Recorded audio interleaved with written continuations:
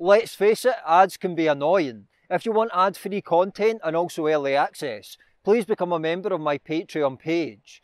Increasingly I'm travelling to places such as Glencoe, and obviously the expense of getting here is quite considerable. I also have a proper full-time job, 40 hours a week, so I do anything with Celtic History Decoded um, on top of that.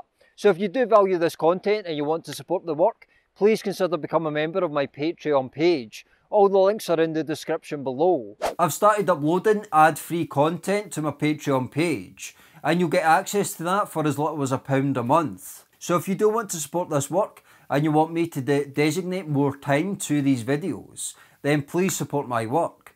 I understand times are tough though, so if you can't financially support my work, please just share my content with your friends and family. It really does make a difference, uh, as word of mouth after all is the number one way of marketing. Um, you can also donate to my channel um, via the links in the description below and the link to my Patreon page will be in the description below. Um, you can donate through PayPal or you can donate through buymeacoffee.com. Again, all the links in the description below.